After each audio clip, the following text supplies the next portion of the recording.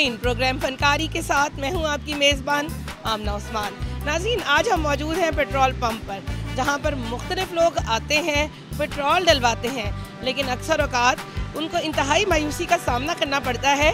पैसे तो वो पूरे देते हैं, लेकिन पेट्रोल पूरा नहीं डलता। क्या क्या फनकारी लगती है? बात करते हैं लोगों के साथ। मेरे साथ इस वक्त एक शहरी मौजूद है, बात करते हैं इनसे। यहाँ पे आप पेट्रोल डलवाने के लिए आए हैं। कैसी कैसी फनकारी लगती है यहाँ पर आपके साथ अक्सर? फनकारी तो ऑनर के ओनर के ऊपर डिपेंड करती है ना फनकारी की भाई किस टाइप किस टाइप की वो लगाते हैं। अक्सर कोई ईमानदार होते हैं कोई होते नहीं हैं। वो पहले से ही उन्होंने फिक्सिंग की वगैरह की हुई होती है कुछ ने कुछ ने नहीं की हुई होती। लेकिन उनको उन्हें इस बात का फ़ायदा तो नहीं है ना। फिक्सिंग किस किस्म की? फिक्सिंग मीन्स के बैक साइड पे इन्होंने कंप्यूटर प्राइस वगैरह किया हुआ होता है सिस्टम और जैसे अब यहाँ पे आप देख रहे हैं प्राइस वगैरह लगी हुई है। प्राइस वगैरह ये ज़्यादा की लगा देते हैं मतलब प्राइस सेम रहती है बट क्वांटिटी थोड़ी कम कर देते हैं पेट्रोल की इस तरह की कोई फिक्सिंग होती है। आपके साथ कभी ऐसा चूना लगा? नहीं नहीं मैं, मुझे पता ही नहीं है मैं देखते नहीं हूँ बस डलवा के चला जाता हूँ। इसका मतलब है कि आपके साथ काफ़ी दफ़ा लग चुका है। मे भी। इनका कहना है कि इन्होंने कभी देखा ही नहीं है और इसलिए इनको पता ही नहीं चला कि इनके साथ काफ़ी दफ़ा हो चुका है लेकिन उनका कहना है कि जब भी कभी प्राइस को चेंज कर दिया जाए और पीछे से मालिकान ही अगर मिले हुए हो तो फिर इससे बचना बहुत मुश्किल है। मेरे साथ इस वक्त एक पेट्रोल डालने वाले भाई साहब मौजूद हैं। इनसे बात करते हैं कि ये क्या कहते हैं। बहुत से शहरियों का कहना है कि आप लोग जो हैं, वो पेट्रोल पैसे ज़्यादा ले लेते हैं और पेट्रोल कम डालते हैं। इस सिलसिले में क्या कहेंगे? हर पंप हर पंप वाला एक जैसा नहीं होता। आप जब मर्ज़ी आए, हमारे एक मैार है, आप जब मर्ज़ी आके चेक कर सकते हैं। अगर कम हुआ तो आप खुद देख लीजिएगा। नॉर्मली अगर देखा जाए तो शिकायत जो है वो आपके पेट्रोल पंप से सबसे ज़्यादा आती है। क्या वजह है? ऐसा नहीं हो सकता। जब मर्ज़ी आप आए आप खुद उसको देखें आप मकदार उसकी खुद चेक करें तो आप फिर खुद बताएँ। अच्छा मुझे ये बताएँ कि क्या ऐसा भी होता है कि शहरी जो आए होते हैं उनकी तरफ़ से भी ऐसी फनकारी लगती है कि आपने पेट्रोल पूरा डाला है और वो लड़ने मरने में तैयार हो जाते हैं? ये ऐसे बहुत से लोग आते हैं। वो यानी कि वो कहते हैं कि हमें पैसे ना हम दे, दे दें इनको और ऐसे हम चले जाएँ। वो झूठ बोल के इनको डरा के लेकिन हमें पता है हमारा मकदार पूरी है। हम ऐसे किसी को नहीं जाने देते हम पैसे पेट्रोल भी पूरा डालते हैं पैसे भी पूरे लेते हैं। क्या तरीका कार करते हैं अगर ऐसा कोई करे कभी कोई ऐसा वाक्य आपके साथ कुछ जाती तौर पे हुआ कि मारने पीटने तक की नौबत आ गई नहीं नहीं इस तरह नहीं हमारा इखलाक माशाल्लाह बहुत अच्छा है। हम हमारे कस्टमर के साथ अच्छे तरीके से बात करते हैं उसको अच्छे तरीके से डील करते हैं किसी के साथ बदतमीजी नहीं करते हम। हाँ जी।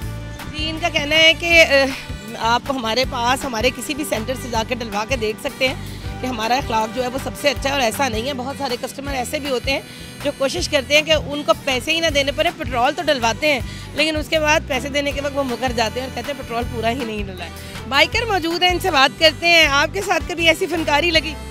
हाँ अक्सर यानी कि कभी कभार हो जाता है कि आप, यानी कि पेट्रोल डलवाना शुरू किया आपने तो उन्होंने जैसे नोज़ल निकालते हैं तो कोई और बंदा पीछे से मीटर के आगे आगे खड़ा हो जाता है वो शुरू कर देते हैं। तो आपने 500 का बोला है तो सर्वर्स के अगर 100 का पहले ही डला हुआ है तो 400 का आपको मिला सौ उनका।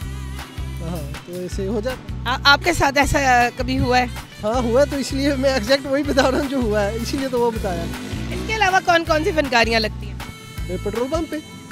पेट्रोल पम्प पे बेसिकली जो मुझे ज़्यादा इशू आता था वो होता था क्वालिटी का।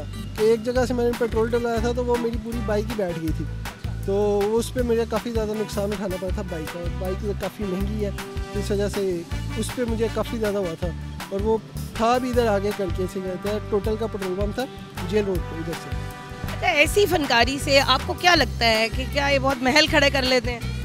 नहीं खड़ा तो कुछ भी नहीं होता। उल्टा नुकसान होता है कि अगर आपका एक दफ़ा पकड़े जाएँ तो छः माह का मेरा ख्याल है बैन होता है पेट्रोल पम्प और पता नहीं इनका अपना करोड़ों का नुकसान हो जाता है अरबों का नुकसान होता है तो करनी नहीं चाहिए क्योंकि थोड़ा सा फ़र्क आ जाता है। लेकिन करते अगर पकड़े जाएँ तो उल्टा ज़्यादा नुकसान हो जाता है। तो करनी नहीं चाहिए। एक पेट्रोल पंप के सीईओ हमारे साथ मौजूद हैं। उनसे बात करते हैं और जानते हैं कि वाकई ही पेट्रोल में हेरा फेरी होती है या लोग ऐसे ही कहते हैं। सर क्या कहेंगे जी मैं ये कहूँगा कि पेट्रोल में हेरा फेरी के मामला कुछ बेहतर भी हैं और कुछ नहीं भी हैं। अगर कस्टमर अपना जब भी बाकायदगी के साथ मीटर चेक करे वर्कर को फॉलो करे अगर जो कस्ट वर्कर कहता है सर आप प्लीज़ मीटर चेक कर लें। तो दो मिनट की बात होती है कि वो अपने सारे काम भूल के मीटर को चेक फॉलो कर ले ताकि ये लड़का मेरे मुझे ठीक ठीक डाल रहा है या नहीं ठीक डाल रहा है। ताकि कई मामला तो ऐसे होते हैं कि अक्सर पंपों पे तो नहीं मैं ये कहूँगा लेकिन कुछ ऐसे पेट्रोल पंप हैं कि जो ये हल्का फुल्का इन चीज़ों में मुलवस होते हैं but mostly petrol pump okay है सर हल्का फुल्का आप किसको कहेंगे? अगर मैं बड़ा यूँ ही होगा कि आप ज़रा पेट्रोल डुलाते टाइम अपनी तवज्जो पेट्रोल की तरफ़ रखें तो मेरे मा, मा, मामले में हर मामला तो ठीक होता है। अच्छा, किस किस्म की हेरा फेरी इसमें होती है? अगर मैं कस्टमर्स की बात करूँ तो मेरी मुख्तलिफ़ शहरियों के साथ बात हुई है और उनका ये कहना था कि खामोशी से कोई ना कोई जो है वो नंबरों के आगे खड़ा हो जाता है। या जैसे मैंने 500 का पेट्रोल कहा और 400 का डाला और वो 100 का सामने नंबरों के खड़े होकर गायब कर दिया। इस तरह की चीज़ें भी होती हैं? नहीं गैप तो नहीं कर सकता। देखिए जब मशीन ज़ीरो हो जाती है ना आपकी तो वो मोस्टली आपकी वन से शुरू होकर फाइव हंड्रेड तक जाकर रुकेगी। वो गैप नहीं होती कोई भी। जस्ट ये देख लेगा क्या मीटर के ऊपर फाइव हंड्रेड आ गया क्या उन्होंने ज़ीरो तो नहीं किया? तो फिर ए, मेरे ख्याल से कभी भी उन्हें कोई प्रॉब्लम नहीं होगी अच्छा बहुत सारे पेट्रोल पंप्स की तरफ़ से ये शिकायत देखने में आई है कि जिस वक्त पेट्रोल डालने लगते हैं वो नॉक नहीं करते वो आपकी तवज्जो उस तरफ़ नहीं दिलवाते कि हम डालने लगें और यकदम डालना शुरू कर देते हैं जिसके बाद कस्टमर्स की तरफ़ से लड़ाई शुरू होती है। क्या वजह है इसकी? हाँ ये बात गलत है। जो नहीं नोक करते, उनमें शायद मोस्टली होता है ये कि ताकि वो कस्टमर अपनी तवज्जो ना आगे, पीछे करें और वो फिर हेरा फेरी शायद कर ले।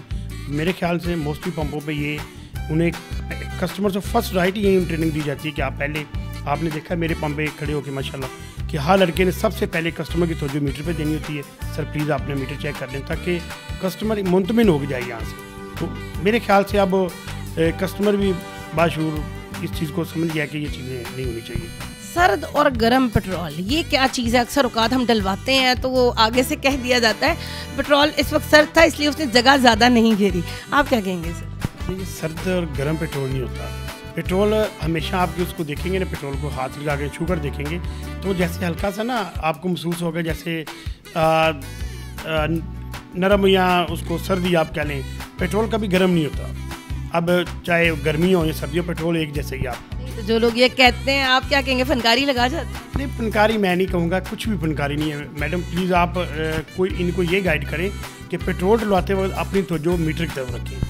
बिल्कुल, इनका बड़ी ज़बरदस्त एक बात इन्होंने कही कि जब पैसों के लेन देन का मामला है, जब आप पेट्रोल डलवाते हैं तो उस वक्त अपनी तवज्जो मीटर की जानब ज़रूर रखनी चाहिए। लेकिन सर, एक चीज़ मैं आपसे जानना चाहूँगी, क्या वजह है? क्या मुलाजमीन को तनख्वाहें सही नहीं मिलती? क्या मालिकान तवज्जो नहीं देते? क्या प्रॉपर स्टाफ नहीं बैठता है? जिसकी वजह से ये फनकारियाँ और इस तरह से चक्कर देने का सिलसिला जारी है? जी, बिल्कुल आप ठीक कह रही हैं। बाद पेट्रोल पम्पों में मालकन नहीं तवज्जो दे रही उनके मैनेजर हजरात होते हैं, जो कि खुद ही उन चीज़ में तवज्जो देते हैं। वहाँ पे आप कह सकती हैं वर्कर को तनख्वाह ना मिलनी, बाहर इन छोटी मोटी चीज़ों पे कुछ जो भी लमसम करते हैं। लेकिन मेरे ख्याल से अब लाहौर की सिटी के अंदर Total petrol pump well dress हैं। अब कंपनियाँ ही इन चीज़ों को हायर कर रही हैं, जो कि कंपनी पेड पेट्रोल पंप होते हैं, माशाल्लाह बहुत अच्छे पेट्रोल पंप होते हैं इनकी। जैसे कि ये मेरा पंप है शेल कंपनी है। तो कंपनी की तवज्जो होती है कि चौबीस घंटे में कंपनी अपने वर्करों को आगे चेक करती है, हर तरह की इनको फैसिलिटी देती है। तो वहाँ पे मेरे ख्याल में वर्कर को कितनी जो सबसे ज़्यादा शिकायत सर शेल की तरफ़ से ही आती है। शेल की हो या कोई भी पंप हो शिकायत किसी भी आप महसूस कर लें कि कोई किसी पंप की शिकायत आ जाती है ज़रूरी की शेल सिर्फ़ एक एक दो जैसे वीडियो वायरल हो जाती है जी शेल पंप है जी शेल पंप है। नो शेल दुनिया में दुनिया में शेल का एक म्यार अच्छा जैसे कि P S O Pakistan State Oil है हमारी। ये भी दुनिया में अच्छी कंपनी है। कंपनी सब अच्छी हैं। हमारे वर्कर अच्छे नहीं है बीच में कुछ हमारे कुछ ऐसे लोग होते हैं कि जो कंपनी को बदनाम करने की खातर कोई दस रुपये खातर हेरा फ़ी कर देते हैं बाकी कंपनी टोटल अच्छी है। पूरे पाकिस्तान में पूरी दुनिया में कंपनी अच्छी है। बाज़ अवकात कुछ जो लोग पेट्रोल डलवाने के लिए आते हैं झगड़ा करते हैं इस बात पर कि हमने तो इतने पैसे दिए लेकिन पेट्रोल उतना नहीं बड़ा गन निकाल ली हो। देखिए जी सौ में से एक आधा कस्टमर ऐसा होता है कि जो जिसका दिमाग ये इसमें हो जी मुझे तेल कम डला है। बाद में गाड़ियों के मीटर भी यकदम नहीं। जैसे आप फ्लू मीटर आप चेक करते हैं ना तो वो भी ज़ीरो में खड़ी रहती है। गेज में प्रॉब्लम आ जाती है। तो उनमें भी कुछ ऐसी प्रॉब्लम होती हैं। ज़रूरी है कि मशीन या तेल ना हो। तो मेरे ख्याल में हमारी कोशिश होती है कि हम कस्टमर को मुंतमिन करके भेजें वो ये ना कहे कि, यार, मुझे ये नहीं डला, या ऐसे नहीं हुआ। तो ये चीज़ें साथ होती हैं। कभी कोई वाक़ आपके साथ ऐसा हुआ हो कि आपकी मौजूदगी में लड़ाई, झगड़ा या गन तक निकाल ली? होता है। बाद में रश में कस्टमर लगा हुआ है। वो ज़्यादा देर होगी है मशीन के करीब आए, जो जल्दी करें, जल्दी में वो ज़रा थोड़ा सा हैपर हो जाते हैं। लेकिन हमारी कोशिश होती है, फिर भी ये लड़कों को ट्रेनिंग दी होती है कि कस्टमर के साथ कोई बदतमीजी नहीं करनी। चाहे वो गाली भी निकाल देते हैं, सारा कुछ हो जाता है। हमारा ये, क्योंकि हमारा ये पॉइंट है, या हमारी ट्रेनिंग है, या हमारा ये सिस्टम इस तरह का होता है कि जिसको हम वो लड़ाई झगड़े नहीं कर सकते। तो इन चीज़ों में आप माशाल्लाह खुद समझदार हैं कि बाहर रोड के ऊपर बैठे होते हैं लड़के तो क्या लड़ेंगे तो कोशिश होती है कि कस्टमर के साथ हमारा वेब अच्छा हो जरा। अच्छा सर बहुत सारे लोग मुझे ये कहते हुए नज़र आए कि नोजल जो है वो एंड टाइम पे ढीली कर दी जाती है ये क्या है? मैडम नोज़ल ढीली नहीं होती कोई। जो आपने फिक्स करना है ना अपने मीटर के ऊपर वो हर सूरत में पेट्रोल ने बाहर आना है। चाहे नोज़ल को जिस तरह दिल करता आप पकड़ लें खुद पकड़ लें ढीली कर दें छोड़ दें जब तक पेट्रोल जो फ़ीड किया हुआ है जब तक वहाँ पे फाइव हंड्रेड हो जाएगा तेल आपका वो इन पूरा होएगा यानी कि उसमें कोई भी फ़र्क नहीं महसूस होगा। डीली वाला वो एक आज से कोई बीस पच्चीस साल पहले पुरानी मशीनें हुआ करती थी जिस पर झटके लगाने वो पैप के पीछे चला जाना पेट्रोल। अब नहीं ये कंप्यूटर अब कंप्यूटर सिस्टम है ना जो फ़ीड करना है वो टोटली बाहर आएगा।